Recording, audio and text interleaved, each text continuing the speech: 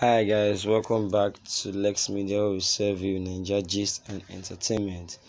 Leader of the Marlian gang, Naira Marley, gave his fan a dirty slap while performing on stage in Lagos.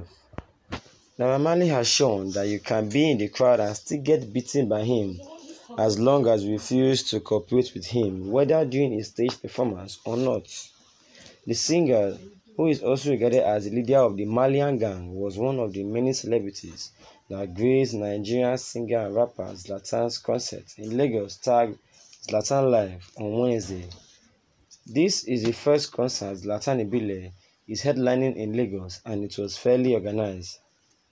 At the concert, Naira proved that doesn't take nonsense as he was seen in one of the footages that emerged from the night slapping a fan in the crowd while he was on stage performing.